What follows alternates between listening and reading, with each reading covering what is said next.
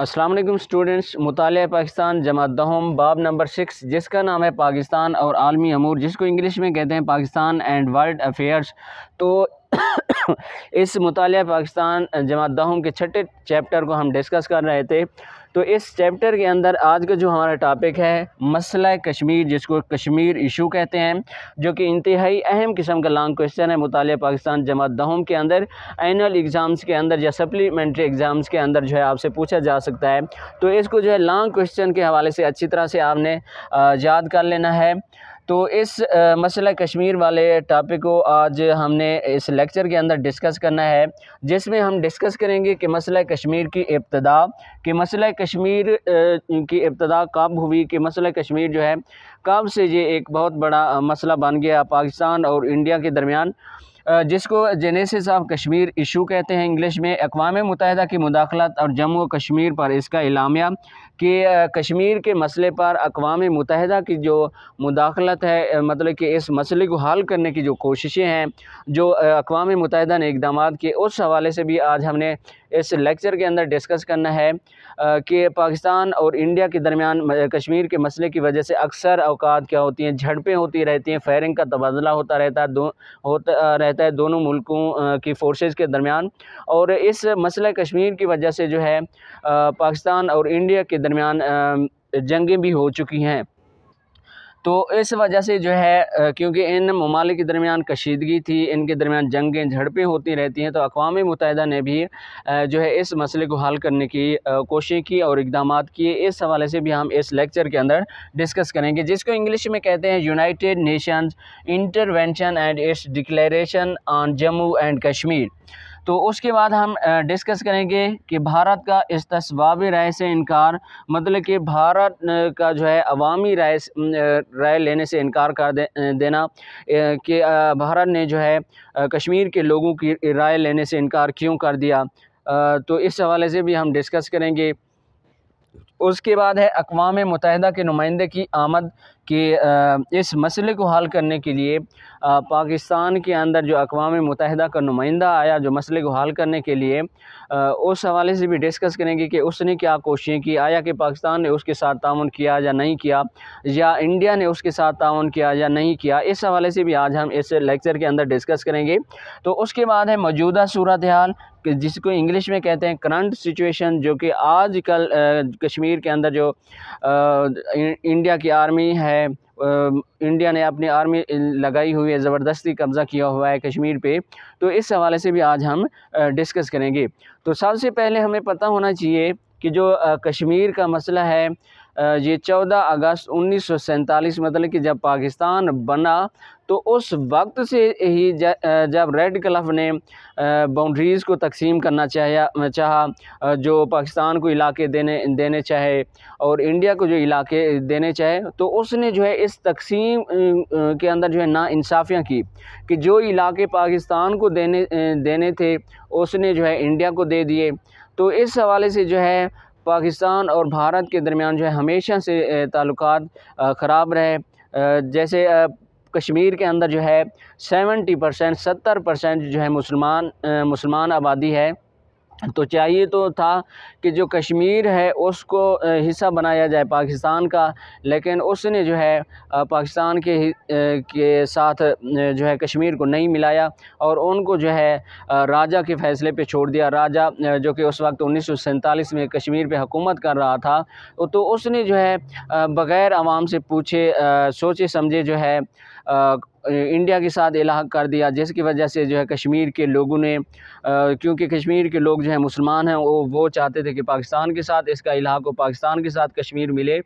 तो इस हवाले से जो है मतलब कि उन्नीस सौ सैंतालीस के अंदर ही जो रेड क्लब था जिसने पाकिस्तान के इलाकों की और इंडिया के इलाकों की तकसीम करने, करनी थी, उस, उसने सही तरीके से तकसीम नहीं की, जिसकी वजह से जो है मसला कश्मीर वाला मसला पैदा हुआ, जो कि उन्नीस सौ सैंतालीस से लेकर आज तक जारी है और उन्नीस सौ सैंतालीस से लेकर 2023 तक जो है पाकिस्तान और इंडिया के दरमियान इस मसला कश्मीर की वजह से तीन से चार जंगें हो चुकी हैं, तीन से चार जंगें हो चुकी हैं।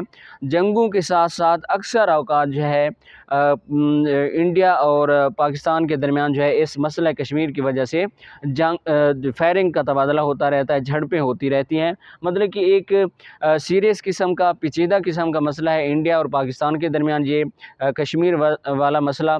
तो मैं आपको बताता चलूँ कि पहले पहले ये था जो कश्मीर का इलाका था जब रंजीत सिंह था, सिखों का हाकिम तो उन सिखों की हुकूमत थी पंजाब वाली साइड पे या कश्मीर वाले इलाकों पे तो उस वक्त कश्मीर जो था, सिखों के कब्ज़े में था। उसके बाद वो जब 1845 में अंग्रेज़ों के दरमियान और सिखों के दरमियान जंग हुई तो सिख जो है वो जंग हार गए। तो अंग्रेज़ों ने जो है पचहत्तर लाख में 7.5 मिलियन में जो है एक गुलाब सिंह जो था, सिख शहज़ादा था या उसको क्या कहा जाए, हुक्मरान था, सिख हुक्मरान था, उसको कश्मीर पचहत्तर लाख रुपए कीमत में बेच दिया। मतलब कि उस वक्त जो है कश्मीर पे अठारह सौ छियालीस, अठारह सौ सैंतालीस अड़तालीस उनचास वगैरह के अंदर जो है वो कब्ज़े में चला गया सिखों के कश्मीर। तो उसके बाद जो है जब चौदह अगस्त उन्नीस सौ सैंतालीस को तकसीम हुई पाकिस्तान और इंडिया के इलाकों की। तो रेड क्लब जो था, उसने जो है इसको जो रियासतें थी, जैसे हैदराबाद, दक्कन वगैरह इसी तरह कश्मीर वाली जो रियासत थी तो इनको इनके जो हुक्मरान थे, जो शहज़ादे थे या राजे थे, उन पे ये फ़ैसला छोड़ दिया किया छोड़ दिया गया कि आया कि ये पाकिस्तान के साथ शामिल होना चाहते हैं या इंडिया के साथ शामिल होना चाहते हैं। तो जब उन्नीस सौ सैंतालीस वाला साल था, उन्नीस सौ सैंतालीस के वक्त कश्मीर पे जो हुक्मरान था, वो था एक हिंदू राजा तो उसने जो है हिंदू राजा, क्योंकि हिंदू की अक्सरियत जो है इंडिया के अंदर है, हिंदू राजा ने कश्मीर का इलाहाक जो है इंडिया के साथ कर दिया। उसने जो है कश्मीर के लोगों से राय भी नहीं ली कि वो किस के साथ शामिल होना चाहते हैं। उसने जो है इलाहा कश्मीर के साथ कर दिया, जिस की वजह से जो है कश्मीर के लोगों ने उस राजा के फ़ैसले को मानने से इनकार कर दिया और कश्मीर के जो लोग थे वो सेवेंटी परसेंट जो हैं वो मुसलमान हैं। वो तो किसके साथ शामिल होना चाहते थे? पाकिस्तान के साथ शामिल होना चाहते थे, जिसकी वजह से जो है ये मसाइल मतलब कि, बढ़ते गए। इंडिया ने जो है उन्नीस सौ सैंतालीस में अपनी आर्मी भेज दी, ज़बरदस्ती कश्मीर पर कब्ज़ा करना चाहा और कश्मीर पे कब्ज़ा करने के जब आर्मी भेजी तो उनके जो लोग थे, उन्होंने आर्मी के साथ लड़ना शुरू कर दिया। जो मुजाहिदीन थे, जो कश्मीर के लोगों, लोग थे, उन्होंने अपने हकूक़ का दिफा करना चाहा। तो इसी तरह जो है इंडिया ने बाकी भी कश्मीर के इलाकों पे कब्ज़ा करना चाहा। जैसे ये आज़ाद कश्मीर वाला इलाका है, इस हवाले से पाकिस्तान और इंडिया के दरमियान जंग हुई। तो पाकिस्तान और इंडिया के दरमियान जब जंग हुई तो जो कबायली लोग थे मुजाहिदीन थे कश्मीरी लोग थे और जो पाकिस्तान की आर्मी थी उस वो बहादरी के साथ इंडिया की फोर्सेस के साथ लड़े और ये आज़ाद कश्मीर का जो इलाका है उसको आज़ाद करा लिया। तो इस तरह से जो है मतलब कि उन्नीस सौ सैंतालीस से ही ये आ, मसला चल चल रहा है जो कि आज 2023 चल रहा है। आज तक जो है वो मसला वैसे का वैसा ही पड़ा हुआ है ये कश्मीर का मसला। हल नहीं हो सका हो सका। तो स्टूडेंट चैनल को ज़रूर सब्सक्राइब कर लें ताकि हर नया आने वाला लेक्चर जो है आपको आ, मिलता रहे। तो आपकी किताब से डिस्कस करते हैं। ये मैंने डिटेल जो है अपनी तरफ़ से बता दी ताकि आपको बैकग्राउंड जो है वो तो पता चले कि कब से जो है मसला कश्मीर आ, जा रहा है शुरू हुआ क्या हुआ क्या नहीं हुआ। तो इस हवाले से देखते हैं कि आपकी किताब जो है आ, क्या कहती है। तो टॉपिक है हमारा मसला कश्मीर, जिसको इंग्लिश में कहते हैं कश्मीर इशू तो सबसे पहले हमारे पास है मसला कश्मीर की इब्तदा genesis of Kashmir issue Pakistan और भारत दोनों मसला कश्मीर पर एक बुनियादी नज़रिए पर खड़े होने का दावा करते हैं कि पाकिस्तान और भारत जो है, एक बुनियादी नज़रिए पर खड़े होने का दावा करते हैं कि कश्मीर इंडिया कहता है कश्मीर मेरा हिस्सा है, क्योंकि जो उस वक्त का हिंदू राजा था उसने कश्मीर का इलाहाक कश्मीर का इलाहाक जो है इंडिया के साथ कर दिया था और पाकिस्तान कहता है कि कश्मीर के जो आवाम आवाम थे, वो मुसलमान थे तो वो चाहते थे कि पाकिस्तान के साथ हम शामिल हों। तो इस हवाले से जो है दोनों ममालिक एक दूसरे मतलब कि कश्मीर पे जो है अपना हक जताते हैं कि कश्मीर जो है हमारा हिस्सा है, दोनों ममालिक कहते हैं, पाकिस्तान और भारत। तकसीम हिंद के वक्त जम्मू और कश्मीर बरतानवी राज के कब्ज़े में एक रियासत थी कि जब एक तकसीम हिंद मतलब कि बरसगीर को जब तकसीम किया गया मतलब कि पाकिस्तान और इंडिया में तकसीम किया गया तो उस वक्त जो है, ये बरतानवी राज मतलब कि जो बरतानिया की हुकूमत थी, अंग्रेज़ों की जो हुकूमत थी, उसके कब्ज़े में था। जब हिंदुस्तान को तकसीम किया जा रहा था तो जिन इलाकों में मुस्लिम अक्सरियत थी, वो इलाके इलाके पाकिस्तान और जो हिंदू अक्सरियत थी, वो इलाके भारत को दिए गए। कि जब बर सग़ीर की तकसीम की गई, कुछ इस असूल पे की गई कि जहाँ पे मुसलमानों की अक्सरियत आबादी ज़्यादा है, वो पाकिस्तान को देने थे और दिए गए और जहाँ पे हिंदुओं की अक्सरियत थी, वो इंडिया को दिए गए और देने देने थे। तो इस तरह से जो है इलाकों की तकसीम हुई। कश्मीर में अक्सरियती आबादी तो मुसलमान थी, लेकिन जहाँ हुक्मरान एक हिंदू डोगरा था कि कश्मीर के अंदर मुसलमानों की अक्सरियत थी तो वो पाकिस्तान के साथ ही शामिल होना था कश्मीर को।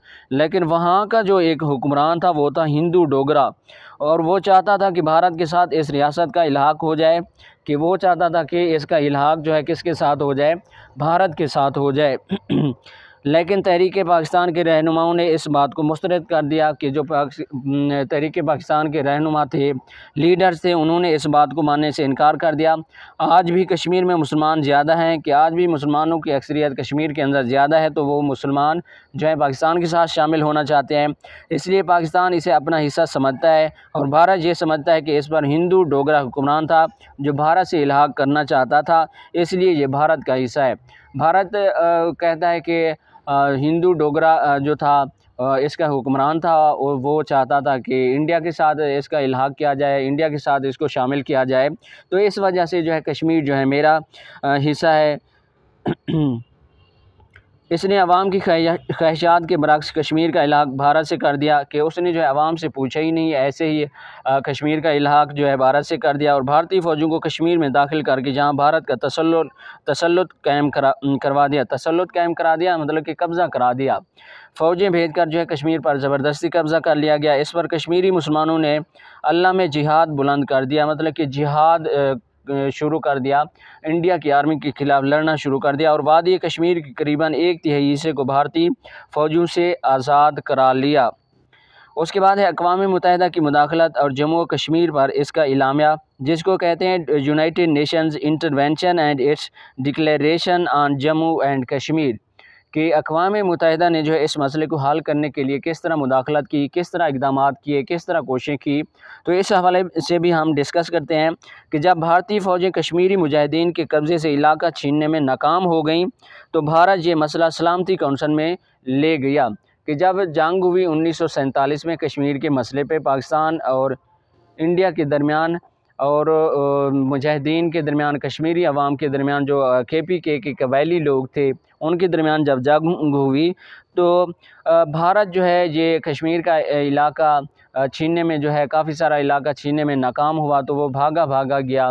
अकवा मुतहदा में कि जंग बंदी कराई जाए और इस मसले को जो है हल किया जाए फ़ौर से, क्योंकि भारत को इस में जो है नाकामी नज़र आ रही थी और उसका काफ़ी सारा नुकसान हो चुका था कि, क्योंकि कश्मीरी लोगों ने पाकिस्तान के के पी के के जो कबायली लोग थे, उन लोगों ने और पाकिस्तान की आर्मी ने जो है इनका बहादरी से डट कर भारतीय फ़ौजों का मुकाबला किया। भारत ने मज़ीद दावा किया कि पाकिस्तान ने कश्मीर पर हमला किया है, जिसका मतलब भारत पर हमला है। कि उसने कहा कि इसने जो है कश्मीर पर हमला किया है जिसका मतलब है कि इसने जो है भारत पर हमला किया है। पाकिस्तान ने कश्मीर की भा कश्मीर की भारत के साथ इलाहाक की कानूनी हैसियत को चैलेंज किया। कि पाकिस्तान ने जो है चैलेंज किया मतलब कि अकवा मुतहदा के पास ये मसला ले गया कि इस मसले को हल किया जाए कि कश्मीर की जो आवाम है वो चाहती है कि पाकिस्तान के साथ शामिल हूँ। लेकिन ये लोग जो है इंडिया ने जो है ज़बरदस्ती इस पर कब्ज़ा किया हुआ है अवामी राय के ख़िलाफ़। और सलामती कौंसिल को हकीकत हाल से आगाह करते हुए ज़ोर दिया कि कश्मीर के मुस्तबिल के फ़ैसले का हक़ इसके राजा को नहीं बल्कि वहाँ के आवाम को मिलना चाहिए। कि इस आ, आ, के राजा ने जो कि इंडिया के साथ इलाहा कर दिया उसके फ़ैसले को नहीं देखना चाहिए।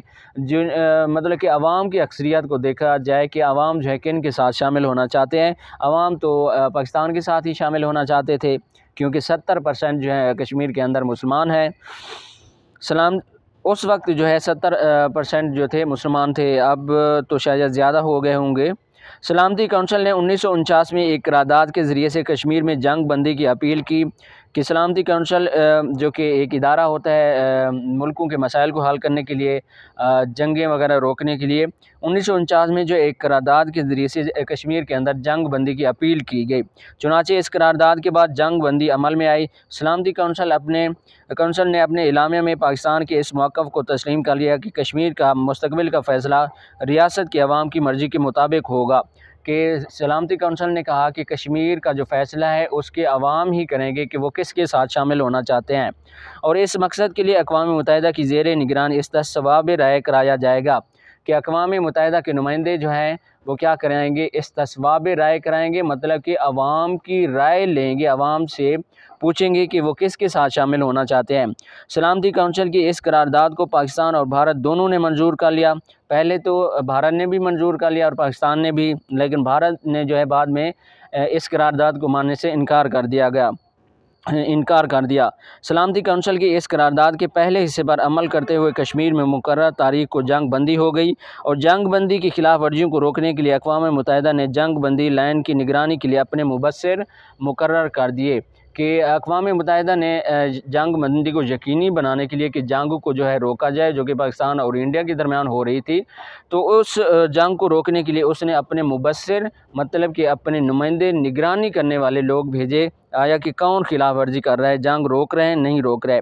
उसके बाद है भारत का इस तस्वाब राय से इनकार।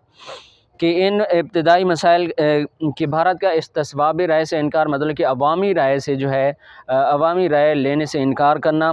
इन इब्तदाई मसाइल के तय हो जाने के बाद तो की जा रही थी कि अकवा मुतहदा अपनी जेर निगरानी कश्मीर में इस तस्वाब राय का बंदोबस्त करेगा। अकवा मुतहदा ने इस सिमत को कुछ इस सिमत कुछ कोशिशें भी की कि इस तस्वाब राय कराने के लिए आवाम की राय करा लेने के लिए अकवा मुतहदा ने कुछ कोशिशें की, ज़्यादा नहीं मतलब कि थोड़ी सी कोशिशें की, इस, लेकिन इस इस मामले में भारत की तरफ़ से कोई पेश रफ्त ना हुई। उसने मतलब कि भारत ने इस हवाले से जो है अकवा मुतहदा का साथ बिल्कुल नहीं दिया। इस, उसने कश्मीर में आज़ादाना इस तस्वाब राय की राह में मुश्किल खड़ी करना शुरू कर दी। कि उसने जो है मुश्किल खड़ी करना शुरू कर दी। तो स्टूडेंट अजान हो रही है, अजान के बाद जो है हम नमाज़ के बाद जो है फिर अपना लेक्चर स्टार्ट करेंगे।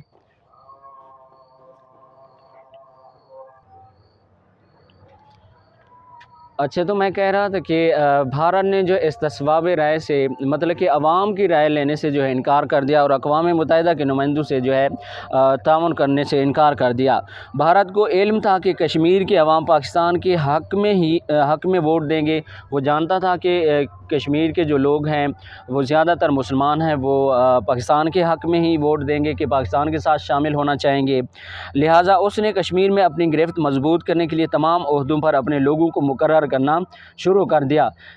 कि कश्मीर के अंदर मज़बूत होने के लिए उसने जो है अहम अहदों पर बड़े बड़े अहदों पर जो है अपने लोगों को मुकर करना शुरू कर दिया। वहाँ कसीर तादाद में फ़ौज मुतन कर दी कि कश्मीर जो है बहुत कश्मीर के अंदर जो है बहुत बड़ी तादाद में फ़ौज भेज दी। इस तरह सूरत हाल काबू में लाने के लिए भारत ने कश्मीर को अपना अटूट अंग करार देते हुए इस तस्वाब राय से साफ़ इनकार कर दिया। अटूट अंग का मतलब कि भारत समझता था कि कश्मीर पर जो है सिर्फ़ और सिर्फ़ मेरा हक़ है और ये मेरा हिस्सा है तो इस वजह से जो है मैं किसी भी अवामी इस तस्वाब राय को कराने से जो है इनकार करता हूँ। मतलब कि इस तस्वाब राय नहीं करता क्योंकि ये कश्मीर कश्मीर जो है इंडिया का हिस्सा है और इंडिया के हिस्सा ही रहेगा और इंडिया के ही इस पर हक़ है।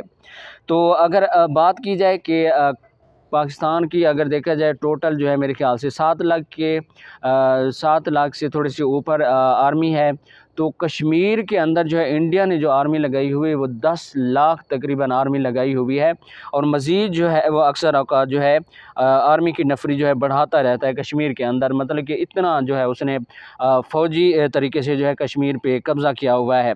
अकवा मुतहदा के नुमाइंदे की आमद the arrival of the U N N Y सलामती कौंसल ने अपनी मंजूर करदा करारदाद पर अमल दरामद कराने के लिए कई कोशिशें की। कि सलामती काउंसिल ने अपनी जो उन्नीस सौ उनचास में कश्मीर के मसले के लिए करारदाद मंजूर हुई थी, उस पर अमल दरामद करने करने के लिए कई कोशिशें की ताकि भारत को इस तस्वाब राय पर आमादा किया जा सके कि भारत को जो है इस बात पर एग्री किया जाए राज़ी किया जाए कि वो आवाम की राय ले जिसको ख़ुद भारत तस्लीम कर चुका था। पहले जो है भारत ने आ, कहा था कि अवामी राय ली जाएगी लेकिन बाद में जो उसने अवामी राय लेने से इनकार कर दिया क्योंकि उसको पता था कि कश्मीर के लोग जो हैं पाकिस्तान के साथ शामिल हो, होना चाहेंगे। तो इस वजह से जो है उसने इनकार कर दिया। इस मकसद के लिए उन्नीस सौ में अकवा मुतहदा ने एक नुमाइंदे को मसला कश्मीर का जायज़ा लेने की गर्ज से भारत और पाकिस्तान भेजा कि उसने अकवा मुतहदा ने जो है अपना एक नुमाइंदा भेजा इस मसले को हल करने के लिए दोनों ममालिक के की बातों को सुनने के लिए जायज़ा लेने के लिए। सलामती कौंसल ने इस नुमाइंदे को पाकिस्तान ने हर किस्म के तान की यकीन दहानी कराई कि सलामती कौंसल के इस नुमाइंदे की हर तान किया पाकिस्तान ने, लेकिन भारत ने जो है उसके साथ तान नहीं किया। लेकिन भारत ने करारदाद पर अमल दरामद करके दरामद के सिलसिले में किसी किस्म के तान से इनकार कर दिया। कि जो करारदाद उन्नीस सौ उनचास में कश्मीर के मसले के हवाले से मंजूर हुई थी अकवा मुतहदा के अंदर, उस पर अमल दरामद कराने से जो है भारत ने साफ़ साफ़ इनकार कर दिया। वो आज तक सलामती कौंसल की किसी करारदाद पर अमल दरामद के लिए आमादा नहीं हुआ। इसने अपने इस उसने अपने इस वादे को भुला दिया जो उसने सलामती कौंसल और कश्मीर के आवाम से किया था कि पहले जो उस पर प्रेशर था, उसके फ़ौजें जो है जंग हार रही थी। कश्मीर के लोग कबायली के पी के के लोग और पाकिस्तान की बहादुर फ़ौज जो उसके साथ लड़ रही थी, कश्मीर, इंडिया को जो शिकस्त दे रही थी, लेकिन जब मतलब कि उसका खौफ वगैरह ख़त्म हुआ तो उसने जो है बहुत बड़ी तादाद जो है इसके अंदर कश्मीर के अंदर भेज दी तो चोरी छुपे जो मतलब कब्ज़ा कर दिया, फ़ौज की तादाद बढ़ाकर जो है ज़बरदस्ती कश्मीर पे कब्ज़ा कर लिया, अवामी राय लेने से इनकार कर दिया साफ़ साफ़ तो उसके बाद आखिरी हेडिंग मौजूदा सूरत हाल की आजकल की सूरत हाल क्या है? करंट सिचुएशन मसला कश्मीर पाकिस्तान और भारत के दरमियान देरीना हाल तलाब तनाज़ है कि मसला कश्मीर पाकिस्तान और भारत के दरमियान जो है काफ़ी अरसे से हाल तलब मतलब कि हल करने के आ, की ज़रूरत है इस मसले को। कश्मीर के मामले पर पाकिस्तान और भारत के माबान कई जंगें भी हो चुकी हैं कि कश्मीर के मसले की वजह से पाकिस्तान और भारत के दरमियान कई जंगें हो चुकी हैं जिसमें उन्नीस सौ सैंतालीस से लेकर अड़तालीस, उनचास तक जो झड़पें जंग होती रही, वो उसके बाद है उन्नीस सौ पैंसठ, उन्नीस सौ इकहत्तर वगैरह, इस तरह मतलब कि छोटी मोटी जंगें और भी होती रही। ये तो मैंने मेन मेन जंगें बताई हैं कि जो मेन मसला है पाकिस्तान और इंडिया के दरमियान, झड़पों का जंग का जो मेन मामला है मेन मसला है वो मसला कश्मीरी ही है। इसके अलावा आए दिन मकबूजा कश्मीर और, आज़ाद कश्मीर की सरहद जिसे लाइन ऑफ़ कंट्रोल कहा जाता है। लाइन ऑफ़ कंट्रोल से क्या मुराद है? ये शार्ट क्वेश्चन से आप क्वेश्चन में आपसे पूछा जा सकता है इस पर निशान लगा दें। कहा जाता है कंट्रोल का लाइन ऑफ़ कंट्रोल कहा जाता है, पर भी गोलाबारी का तबादला होता रहता है। मतलब कश्मीर की जो सरहद है, पाकिस्तान और भारत के दरमियान मतलब तो भारत और पाकिस्तान के दरमियान जो है अक्सर अवकात झड़पें गोला बारी होती रहती है, फायरिंग होती रहती है, जिसमें अक्सर शहरी आबादी निशाना बनती रहती है। जिसमें जो है पाकिस्तान के लोगों लोग निशाना बनते रहते हैं, जैसे सियालकोट वाला जो बॉर्डर है तो वहाँ पे जो है अक्सर झड़पें होती रहती हैं।